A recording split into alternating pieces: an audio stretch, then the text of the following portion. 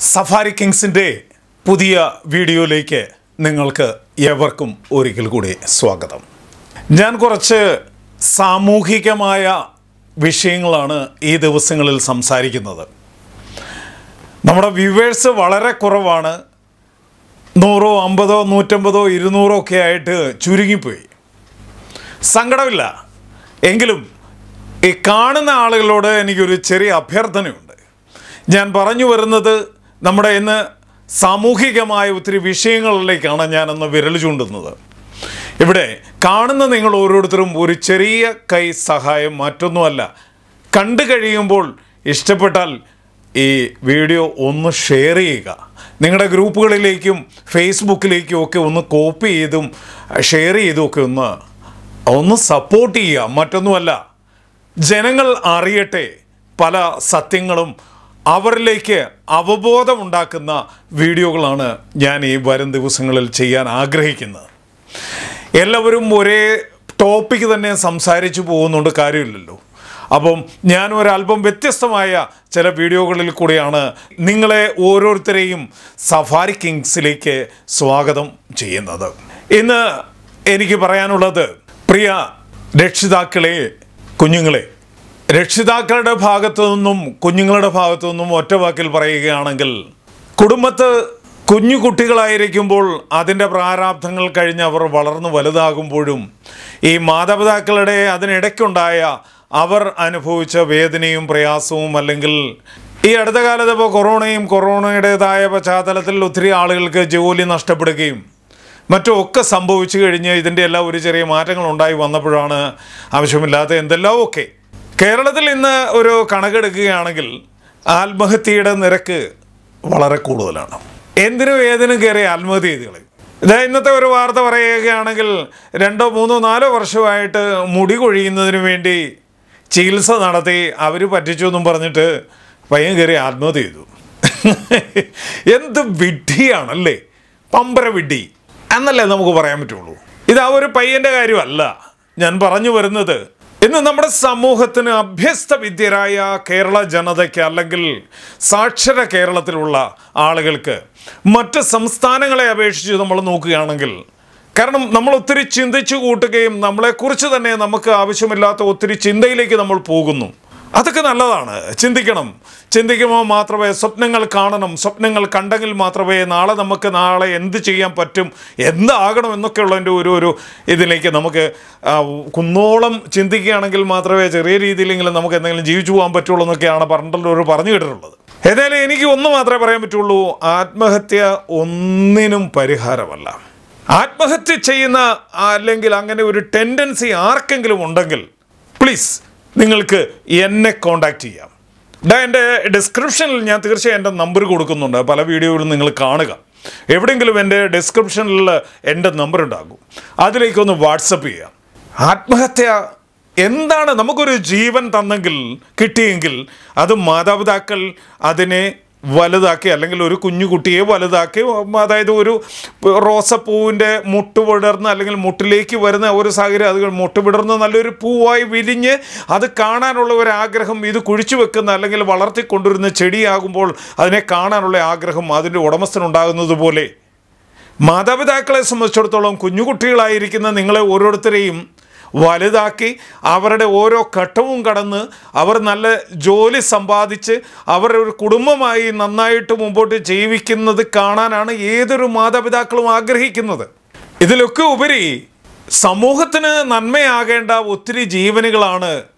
ഒന്നുമല്ലാത്ത പല സമയങ്ങളിലും ഞാൻ ആത്മഹത്യയ്ക്ക് വേണ്ടി ശ്രമിച്ചിരുന്നു എന്നൊക്കെ പല വീഡിയോയിലും ഇന്ന് പ്രമുഖരായ പല വീഡിയോ ആളുകളും പറയുന്നത് ഞാൻ ആത്മഹത്യ ചെയ്തു. കഴിഞ്ഞ ദിവസം ഒരു ട്രക്ക് ഡ്രൈവർ എന്റെ ഒരു വീഡിയോ ഞാൻ കണ്ട സമയത്ത് അയാൾ പറയുന്ന കാര്യങ്ങളൊക്കെ വളരെ സത്യമാണ്. ഗവൺമെന്റിന്റെ ഭാഗത്തു നിന്ന് അവർക്ക് കിട്ടേണ്ടതായ സപ്പോർട്ടൊന്നും കിട്ടുന്നില്ല. അപ്പം ഞാൻ പറഞ്ഞു വന്നത് ആത്മഹത്യ ഒന്നിനും പരിഹാരമല്ല. ആത്മഹത്യ ചെയ്യുന്ന ആ വ്യക്തി ഈ ഭൂമുഖത്ത് നിന്ന് ആ ജീവൻ ഇല്ലാതാകുന്നു എന്ന് മാത്രമേ ഉള്ളൂ. നഷ്ടപ്പെടുന്നതോ അല്ലെ വളർത്തി വലുതാക്കിയ മാതാപിതാക്കളെ സംബന്ധിച്ചിടത്തോളം ആ ഓർമ്മ അത് എന്നും നിലനിൽക്കും. അവർ ജീവിച്ചിരിക്കുന്നിടത്തോളം കാലം. അപ്പം അതിനുള്ള ഒരു സാഹചര്യം നമ്മൾ ഉണ്ടാക്കരുത്.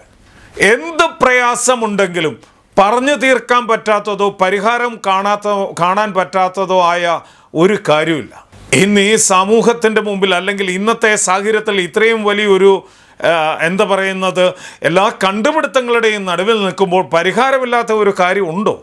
നമ്മളൊന്ന് മനസ്സിലാക്കേണ്ട മറ്റൊരു ഒരു വാർത്ത ഞാൻ പറയാം.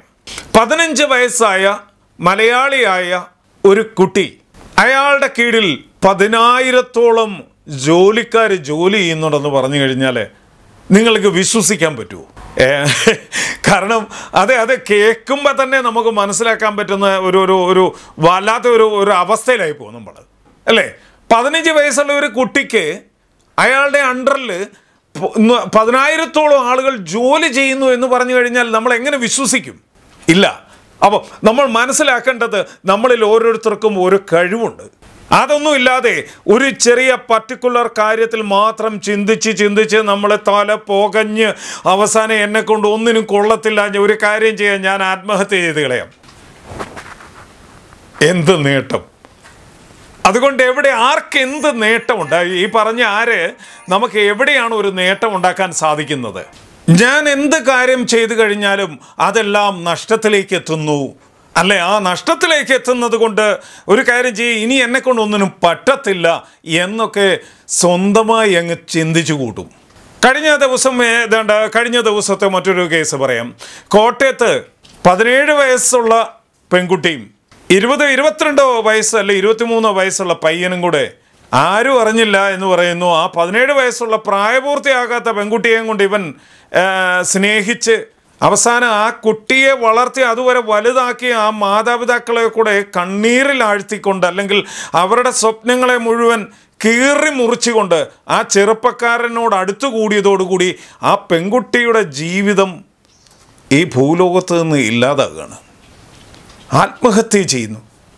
അവർ ഇപ്പോൾ ഒരു പക്ഷെങ്കിൽ അവരെ ജീവിക്കാൻ ഈ മാതാപിതാക്കൾ അനുവദിക്കില്ല എന്നൊക്കെ ഉള്ള ഒരു തോന്നൽ അല്ലെ അങ്ങനെ ഞങ്ങൾ ഇനി അങ്ങ് മരിച്ചുകളെ മരിച്ചു കഴിഞ്ഞാൽ എന്താണ് അതുകൊണ്ട് നിങ്ങൾ ഉദ്ദേശിക്കുന്ന നേട്ടം? ജീവിച്ചിരിക്കുമ്പോൾ നേടാൻ പറ്റാത്തത് മരിച്ചു കഴിയുമ്പോൾ നേടുമെന്നാണോ നിങ്ങൾ കരുതുന്നത്? ആത്മഹത്യ ഒരു രീതിയിലും നേട്ടമല്ല തരുന്നത്. നിങ്ങൾ ജീവിച്ചിരിക്കുമ്പോൾ മാത്രമാണ് നിങ്ങൾക്ക് എന്തെങ്കിലും ചെയ്യാൻ സാധിക്കുകയുള്ളൂ. ജീവിച്ചിരിക്കുന്ന വ്യക്തിക്ക് മാത്രമാണ് ചിന്തിക്കാനും ചിന്തിച്ചുകൊണ്ട് അവന് സാധിക്കുന്നതായ ജോലികളോ അല്ലെങ്കിൽ ബിസിനസ്സോ എന്ത് തന്നെയാണെങ്കിലും ജീവിച്ച് തീർക്കാൻ പറ്റുകയുള്ളൂ അല്ലെങ്കിൽ ചെയ്യാൻ പറ്റുകയുള്ളൂ. നമുക്ക് ഓരോരുത്തർക്കും ഒരേ കഴിവുണ്ട്. ആ കഴിവ് വേണ്ട വിധത്തിൽ സമയാസമയം പോലെ പ്രവർത്തിച്ച് നമ്മൾ അതിലേക്ക് പോവുകയാണ് വേണ്ടത്. ഇതൊന്നുമില്ലാതെ ഒരു നിമിഷത്തിൽ ഞാൻ അത് ചെയ്തു നോക്കി ഇത് ചെയ്തു നോക്കി. അതുകൊണ്ട് എനിക്ക് ഇനിയും ജീവിക്കേണ്ട അല്ലെങ്കിൽ ഞാൻ ഒരു കാര്യം ചെയ്യാം. സമൂഹത്തിന് തന്നെ വേറൊരു പെൺകുട്ടിയുടെ കഴിഞ്ഞ ദിവസം പറഞ്ഞു കേട്ടതനുസരിച്ച് പറയുകയാണെങ്കിൽ എനിക്കും തന്നെ അതൊരു അത്ഭുതമെന്ന് തന്നെ പറയാൻ പറ്റുള്ളൂ. ഈ സാധാരണ ഞാൻ കണ്ടിട്ടുണ്ട് അങ്ങനെയുള്ള കുട്ടികളെ ഞാനും കണ്ടിട്ടുണ്ട്. ഈ പടം പൊളിഞ്ഞു പോകുന്ന പോലെ ദേഹത്ത് നിന്ന് പടം പൊളിഞ്ഞു പോകുന്നു. പതിനെട്ട് വയസ്സ് വരെ ആ പെൺകുട്ടിയുടെ ശരീരത്തു നിന്നും പടം പൊളിഞ്ഞു പോകുന്നത് പോലെ തൊലി പൊളിഞ്ഞു പോകുമായിരുന്നു.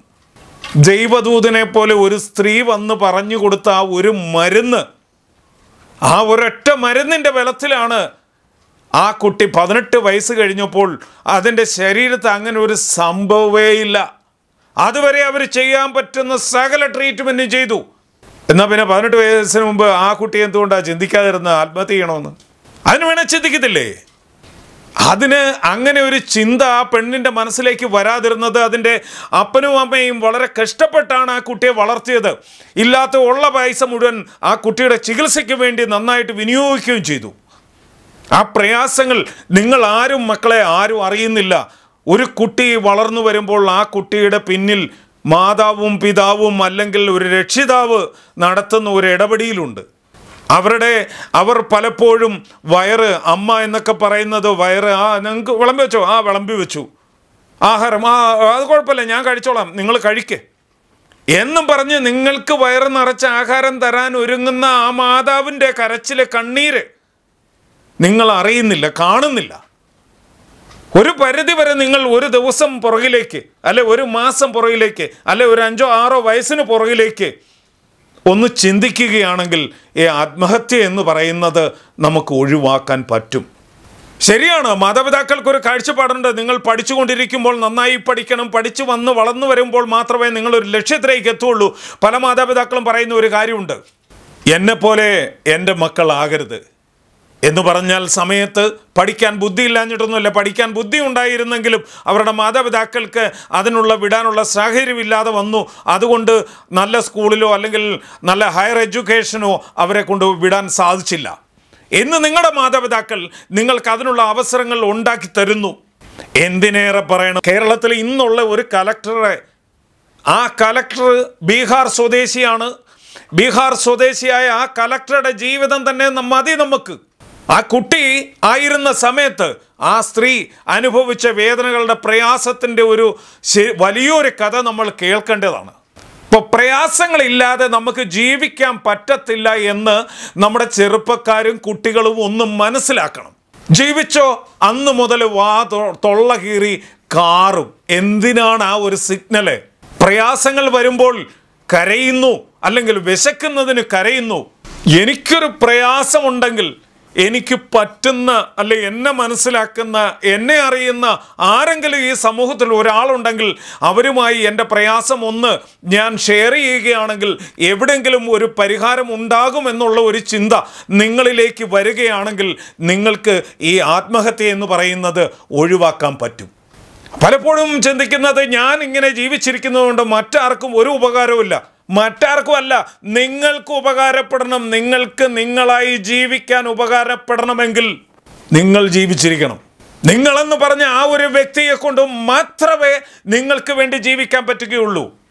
അടുത്തൊരാൾ കാശുണ്ടാക്കിയിട്ട് അതുകൊണ്ട് ഞാൻ ജീവിക്കാൻ എന്നെ കൊണ്ട് ജീവിക്കാൻ പറ്റും എന്ന് ചിന്തിക്കരുത് ഒരിക്കലും. ഞാൻ കഷ്ടപ്പെട്ട് ഞാൻ പണിയെടുത്ത് ഞാൻ സമ്പാദിക്കുന്ന പൈസ എനിക്ക് എന്റെ ആവശ്യത്തിന് വിനിയോഗിക്കാൻ സാധിക്കും. സോ നിങ്ങൾ കുട്ടികളായിരിക്കുമ്പോഴും കുട്ടികളിൽ നിന്നും അല്പം പ്രായം മുതിർന്നു കഴിഞ്ഞു കഴിഞ്ഞിട്ട് എന്നെ കൊണ്ടൊന്നും സാധിക്കില്ല എന്ന് പറഞ്ഞ് ആത്മഹത്യ ചെയ്യാൻ ഒരുങ്ങുന്ന നമ്മുടെ സമൂഹത്തിനോട് എനിക്ക് ഒന്നേ പറയാനുള്ളൂ. ഇത് അഭ്യസ്ത വിദ്യരായ കേരളത്തിലെ ജനങ്ങൾ മാത്രമേ ഇത് ചെയ്യുന്നുള്ളൂ. ഇതിനു പുറത്ത് കേരളത്തിൽ ഇത്രയും സംസ്ഥാനങ്ങൾ ഉണ്ടെങ്കിൽ ഈ സംസ്ഥാനങ്ങളിൽ പോവുകയാണെങ്കിൽ നമ്മൾ പതിനായിരത്തിനോ അല്ലെങ്കിൽ ഒരു വർഷത്തിൽ ആകെ നോക്കിക്കഴിയുവാണെങ്കിൽ ആകെ ഒരാളോ രണ്ടാളോ ആയിരിക്കും. ഈ രീതിയിൽ എന്തെങ്കിലും ഒരു ഒരു സ്റ്റെപ്പ് അല്ലെങ്കിൽ അങ്ങനെ ഒരു തീരുമാനം എടുത്തിട്ടുണ്ടാകുകയുള്ളൂ. എന്നാൽ നേരെ മറിച്ച് എന്നാൽ നേരെ മറിച്ച് കേരളത്തിൽ എന്നും നമ്മൾ കേട്ട് കേട്ട് കേൾവി അല്ലെങ്കിൽ കേട്ടുകൊണ്ടിരിക്കുന്ന പത്രമാധ്യമങ്ങളിൽ കൂടെയും സോഷ്യൽ മീഡിയയിൽ കൂടെയും നമ്മൾ കേട്ടുകൊണ്ടിരിക്കുന്നത് അനവധി നിരവധി ചെറു കുട്ടികൾ അധികം പ്രായമൊന്നുമില്ലാത്ത ഒരു നല്ല അഭ്യസ്ത വിദ്യരായ ആളുകൾ ഈ രീതിയിലുള്ള ഒരു ഒരു മൂവ്മെന്റ് അവർ മരണത്തിലേക്ക് പോകുന്നു അല്ലെ ആത്മഹത്യയിലേക്ക് പോകുന്നു എന്ന് പറയുമ്പോൾ ഇന്ന് കേരളം സത്യത്തിൽ പല കാരണങ്ങൾ കൊണ്ടും ലജ്ജിച്ച് തല താഴ്ത്തി നിൽക്കുന്ന ഈ സമയത്ത് നിങ്ങൾ ഒരു തീരുമാനമെടുക്കുക ഇല്ല എന്ത് പ്രയാസം വന്നാലും അധ്വാനിച്ചു ജീവിക്കാൻ എനിക്ക് തന്റെ ഇടമുണ്ട്. ഞാൻ അധ്വാനിച്ചു ജീവിക്കും എന്നുള്ള ഒരു തീരുമാനം നിങ്ങളുടെ മനസ്സിൽ ഉണ്ടെങ്കിൽ നിങ്ങളെ തോപ്പിക്കാൻ ആർക്കും പറ്റില്ല. ഒരു ശക്തിക്കും നിങ്ങളെ തോപ്പിക്കാൻ പറ്റില്ല. നിങ്ങൾ ജീവിച്ച് കാണിക്കണം. ദയവ് ചെയ്ത് ഈ വീഡിയോ കണ്ടുകൊണ്ടിരിക്കുന്ന നമ്മുടെ പ്രേക്ഷകർ നിങ്ങൾ കൂടി ഇത് കേൾക്കണം. ഒപ്പം നിങ്ങൾ ഈ വീഡിയോ ഒന്ന് ഷെയർ ചെയ്ത് നമ്മുടെ സമൂഹത്തിന് കൊടുക്കുക.